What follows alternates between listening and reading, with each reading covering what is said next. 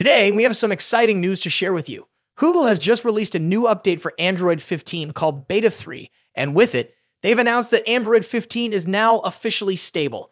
This is great news for Android users, especially those with Samsung devices, as it means One UI 7, which is based on Android 15, is getting closer to being available for all compatible Galaxy smartphones and tablets. Let's dive into the details. Google has rolled out the Android 15 Beta 3 update, and it's packed with several bug fixes, performance improvements, and some new features. Reaching platform stability means the core system behavior is finalized.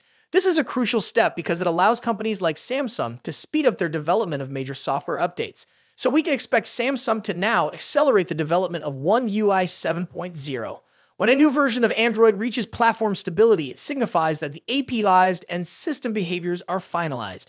This makes it easier for developers to start building their apps and for OEMs like Samsung to begin working on their custom skins. Samsung has a track record of being prompt with their updates once Android reaches this stage. Based on this, we anticipate the One UI 7.0 beta program to start in the third quarter of this year, with the stable release happening in the fourth quarter. Now let's talk about which devices will be getting this update. If you have an eligible high-end Galaxy S, Galaxy Tab, or Galaxy Z series device, you'll be among the first to receive the One UI 7.0 update. After these devices, the update will roll out to mid-range Galaxy phones and tablets, followed by entry-level smartphones and tablets. Here is a list of devices expected to receive the update. Galaxy S24, S24 Plus, and Galaxy S24 Ultra, Galaxy S23, S23 Plus, and Galaxy S23 Ultra, Galaxy S23 Fan Edition, Galaxy S22, S22 Plus, and Galaxy S22 Ultra, Galaxy S21 Fan Edition, Galaxy S21 Series, Galaxy Z Fold 6, Fold 5, Fold 4, and Fold 3, Galaxy Z Flip 6, Flip 5, Flip 4, and Flip 3, Galaxy S73 and A72, Galaxy A55, a 54, and a 53, Galaxy A35, a 34, and a 33, Galaxy A25, a 24, and a 23, Galaxy A15 and A14 LT plus 5G, Galaxy Tab S9 Fan Edition Plus and Tab S9 Fan Edition, Galaxy Tab S9, Tab S9 Plus, and Tab S9 Ultra. Galaxy Tab S8, Tab S8 Plus, and Tab S8 Ultra, Galaxy F55 and F54, Galaxy F34, Galaxy F15, Galaxy M55, M54, M53, M34, M33, and M15. We compiled this list based on different factors. Samsung devices that launch with Android 13 are likely to receive Android 15, since Samsung offers two major OS upgrades. Flagships and mid-range phones eligible for four years of updates will also get Android 15 given Samsung's policy. Moreover, devices launching in 2024 are expected to come with Android 15 out of the box. However, keep in mind that this list is not final and won't be until at least August or September. We'll make sure to update you as more information becomes available.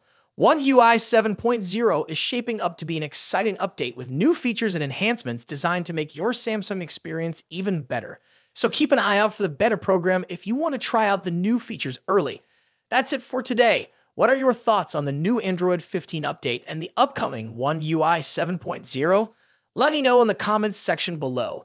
If you enjoyed the video, make sure to like, share, and subscribe for latest tech updates. As always, thank you for watching, and I'll see you in the next video. In Just a few months' time, the iPhone 16 Pro Max will succeed the iPhone 15 Pro Max and take on the mantle as the best and most advanced iPhone out there. Although there's plenty of time until September and a lot can change, we seem to know a lot about the upcoming top iPhone model based on rumors and leaks. How is the iPhone 16 Pro Max shaping up against its predecessor? What's changing and what's staying the same? Let's see how the iPhone 16 Pro Max shapes up against the current best iPhone Apple has in its roster. First up, Let's talk about design and size. The iPhone 16 Pro Max will inherit the same design language as the iPhone 15 Pro Max, employing the same titanium frame with a completely flat screen. The major difference between the iPhone 16 Pro Max and the iPhone 15 Pro Max will be size. The upcoming iPhone screen will grow to 6.9 inches across, a significant bump over the iPhone 15 Pro Max's 6.7 inch display. To achieve this, they're likely shrinking the bezels down even further and making the phone itself slightly larger overall. As per the rumors, the iPhone 16 Pro Max will measure 163mm in height and 77.58mm in width, versus 159.9mm and 76.7mm for the iPhone 15 Pro Max, respectively. A small but notable change, all things considered. The iPhone 15 Pro Max debuted with an action button instead of a mute switch and a USB Type-C port at the bottom, so those two features will be carrying over to the newer model as well. However, the iPhone 16 series will be scoring another button, dubbed the capture button. Colors-wise, the iPhone 15 Pro Max was available in four understated and titanium-inspired colors. We've heard that Apple might use another titanium processing technique that will make the iPhone 16 Pro Max glossier and also more capable of retaining colors. Moving on to display differences. As mentioned, the iPhone 16 Pro Max will come along with a significantly larger display, measuring at 6.9 inches across. Aside from the size, we don't clearly expect any other major changes. We're certainly getting a liquid Retina XDR display with an OLED panel delivering superb colors, contrast, and exceptional maximum brightness. The screen will support 120Hz ProMotion refresh rate, making scrolling through the interface and on-screen content way smoother. Now let's delve into performance and software. The iPhone 16 Pro Max will feature a second generation 3nm chip, possibly dubbed Apple A18 Pro. As one can imagine, we expect that the Apple A18 Pro will have better performance than the Apple A17 Pro. Due to the heavily rumored focus on AI for both iOS and the iPhone 16 range, we expect that the iPhone 16 Pro Max will come with a much improved neural engine to take care of all the generative AI features. The iPhone 16 Pro Max will also be a first to debut iOS 18 with a focus on artificial intelligence features. The new iPhone 16 Pro Max will also support faster Wi Fi 7 and a more power efficient 5G modem, keeping you future proofed on the connectivity front. Let's talk about the camera as the iPhone 15 Pro Max deliver a host of important camera features, chief among which is the new 120mm telephoto lens. The iPhone 16 Pro Max could finally address one of the forgotten cameras that hasn't recently scored any significant overhauls, the ultra-wide.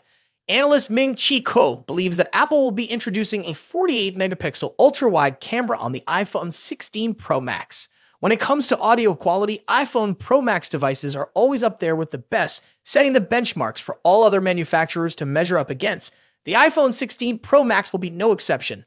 The same generally applies to haptics too. iPhones are arguably the best devices when it comes to haptic feedback, giving us precise and accurate vibrations that are sufficiently strong yet not overpowering. Lastly, battery life and charging. The iPhone 16 Pro Max will reportedly feature a much larger 4,676 mAh battery compared to the 4,422 mAh battery in the iPhone 15 Pro Max.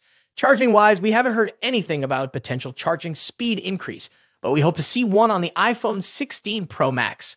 So far, the iPhone 16 Pro Max is shaping up to be a logical improvement to the iPhone 15 Pro Max delivering key upgrades in important areas like screen size, performance, AI, and battery life.